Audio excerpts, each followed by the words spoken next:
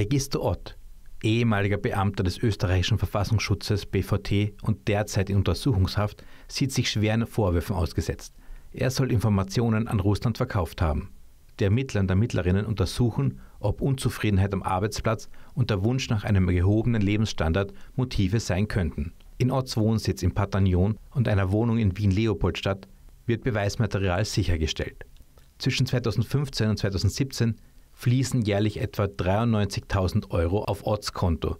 Ab 2018 reduziert sich die Summe auf durchschnittlich 28.000 Euro.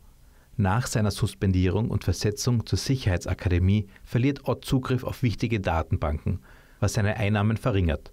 Trotzdem nutzt er internationale Kontakte weiter, vermutlich um Informationen an Russland weiterzugeben.